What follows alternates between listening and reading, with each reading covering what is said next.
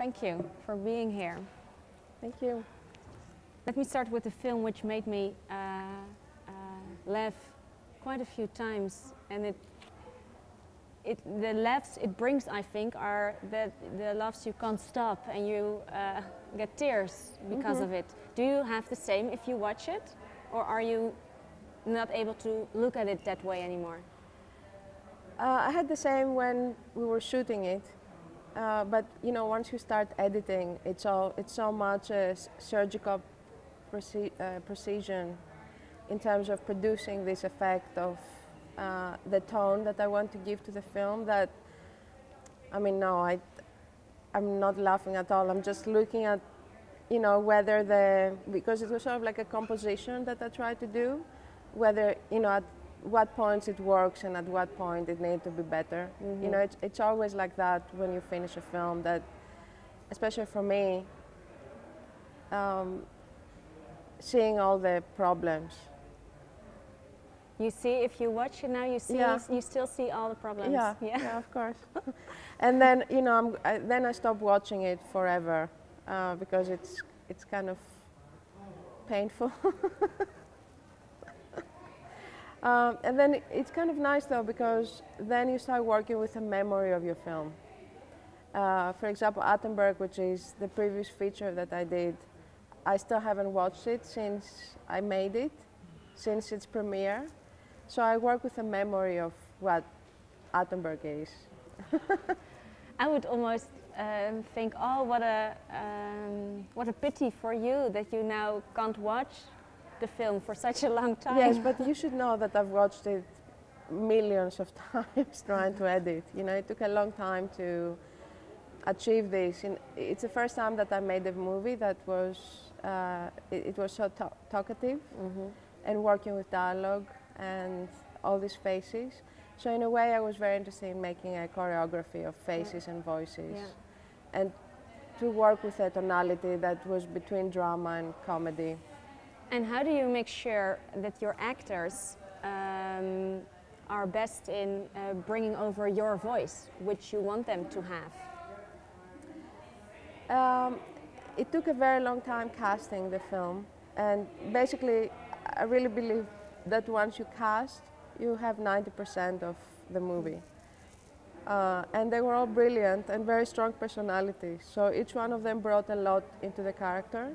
We, we we improvised and rehearsed a lot on the boat. So by the time we actually shot, it was almost like uh, directing as a composer, you know, where all the instruments and the, um, and the scores, the musical scores were set, and then I just had to conduct that. Um, so everything basically was prepared during the rehearsal period. And uh, how long was the rehearsal period? Uh, it was about two months. You were two months on the boat? No, we all have lives. Yeah. um, and these are very, very busy actors because in Greece you can't be an actor doing just one thing. So they had television, they had theater, they had other movies. So I wouldn't rehearse with everyone at the same mm -hmm. time. I would rehearse most of the times in, in pairs, mm -hmm. a few hours during the day, and then in the end, we had massive rehearsals between all of us. And the interesting thing is that there are some scenes that are in the movie that some actors have, had never seen. And they weren't aware that this scene existed.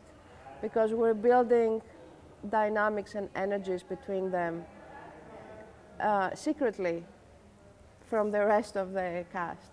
And up until the end of the movie, when we actually shot the, um, the scene where, you know, there's the big, um, uh, you know, that big performance that Yorgos gives, um, no one really knew who, he, who is going to be the winner. Uh, really? So there was a certain suspense this way ah. in terms of keeping everyone uh, on the on the edge of their seat. oh, amazing! And in that part, I had to uh, laugh so hard. I can't. I won't say now uh -huh. which part exactly because I want the audience to experience it themselves. When started this? Uh, what was the first idea of image of sound before making this, the first thought? That's a great question because um, it, it's much easier for me to talk about, you know, this, the images or the sounds that I start any movie instead of, I never start with story or I never start with like a, a you know, the production of a meaning or a, a message that I want to give. I just start with some images that I don't know where they come from, but somehow because they're so strong and they stay, I need to connect them.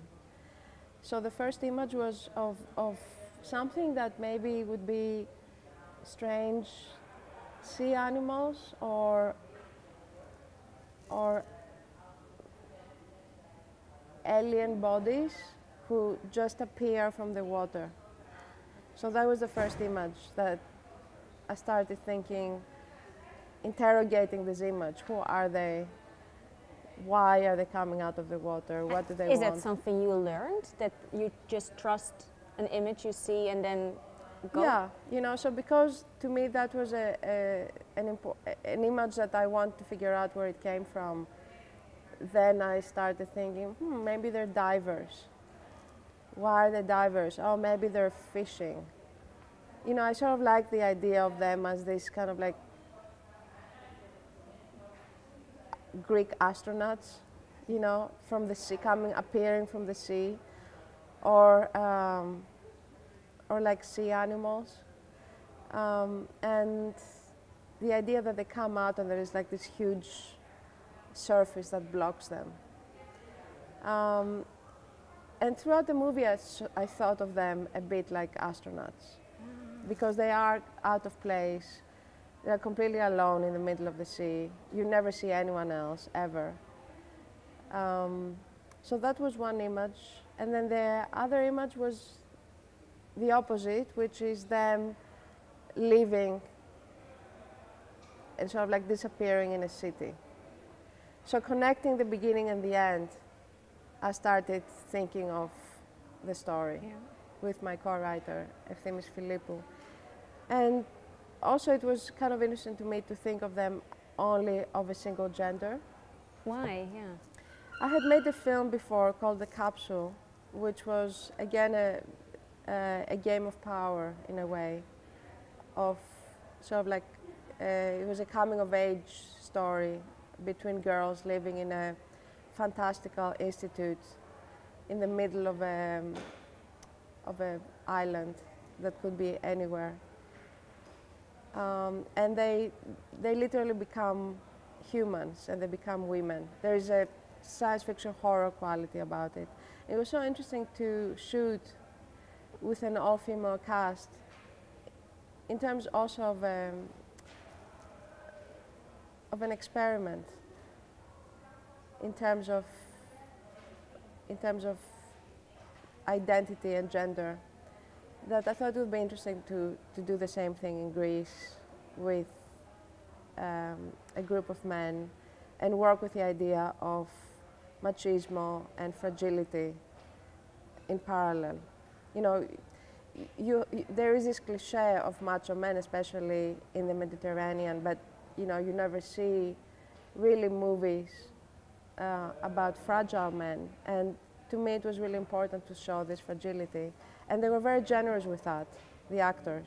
Yeah, how do Because you, they were yeah. extremely open and generous and, and very graceful with that.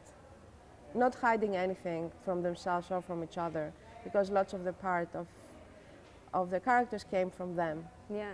What, what did it uh, teach you, this experience with these men on the boat? To tell you the truth, I felt uh, I felt really great as a, as a director.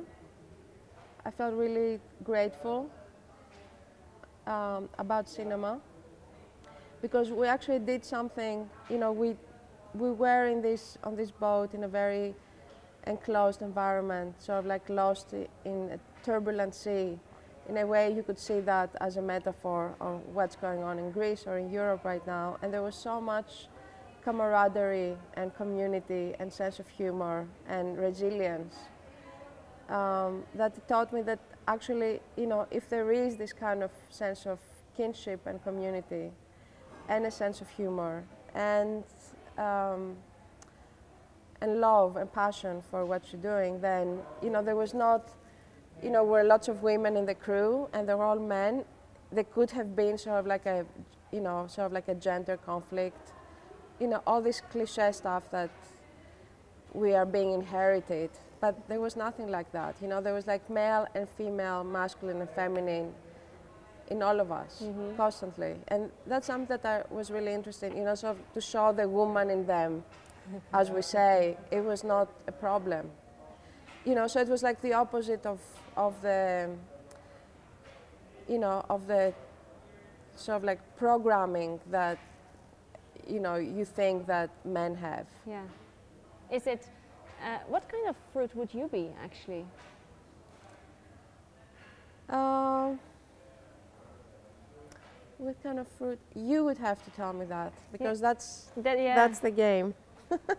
But they also, for me, it's of course hard to say because I don't know you that well. And but they also what I what is interesting that they uh, that somebody mentions them a fruit and they are um, how do you say that in O- English? offended. Yeah, they are Yeah. offended. Yeah, of course. you know, because you would say, "Oh, I want, I think I am a cherry," or you know, you say something that, but in the end, you just might be like a kiwi, you know, which has this like little, um, little fuzzy stuff outside, and it looks like really ugly uh, and strange, as if it's, you know, sort of like extraterrestrial, but it's one of the most delicious and yeah, it's like well, actually it's one of my favorite foods. I wouldn't mind being called a kiwi, but obviously uh, Joseph uh, took offense. And is it because um, are we ever um, how do you say it?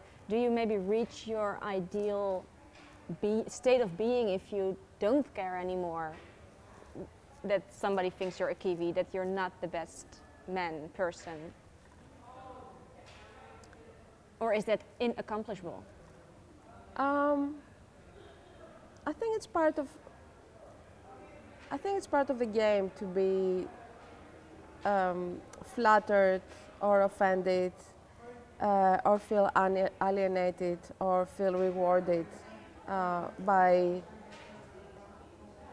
the kind of um, image that we project to others.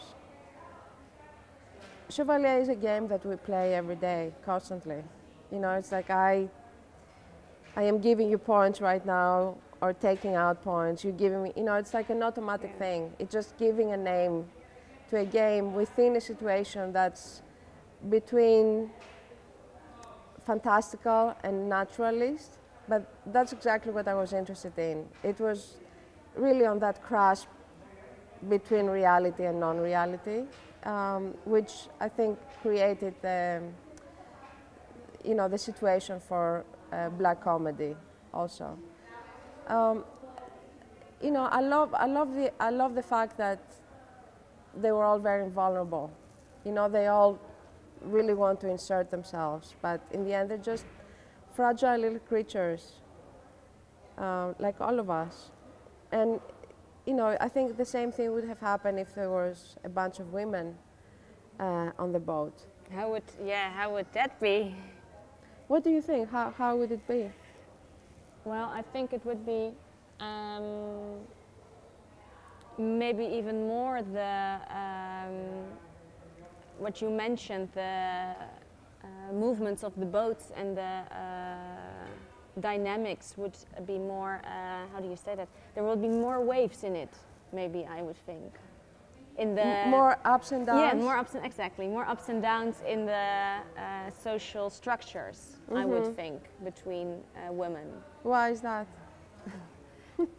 I, I would think, but I'm of course curious what you would think, because um, what I really liked about the men that they're what you say they are so open and um, Mhm. they are so vulnerable with each other, and maybe with women of course, it's not that uh, general, but uh, they appear to be open, but maybe meet, need on the surface more time for that to really Mhm. open up. What do you think? it's interesting because it, it, it seems that we have this idea that again it's you know working with cliches and especially coming from us women about what we think about us because most of the women in the audiences so far have said oh if it were women it would have been like a madhouse over there. You know they would have like pulled each other's hair which that's not my experience you know with my you know, with my friends, with my family, with, you know, all the women that I work with, and I work with, um, with, you know, lots of female crew members and collaborators. I think it's more um, a, a cliche of how us women are that's reinforced by society rather than what's really going on. Because my experience has been the opposite. What would it make a different film when it was uh, with women? I don't think so. No?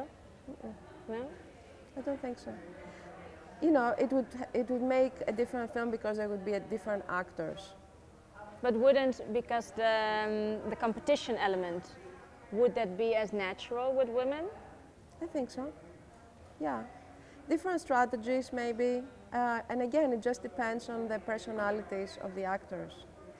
Um, because lots of the personalities inform the characters, which were different in the script that Efthimis and I had written, it evolved through them. Uh, Chevalier would have been a different film a, a lot if I had cast different actors. So I don't like generalizing, you know, because, you know, you have 10 different boats next to each other uh, playing Chevalier, and they would all be completely different, you know, in one, and, and the different outcome, you know, there would be different outcomes too. The energy of the actors that I chose and the kind of tone that I want to have is what it had the, the outcome that Chevalier had. You know, it would be interesting to see if it was a series, for example.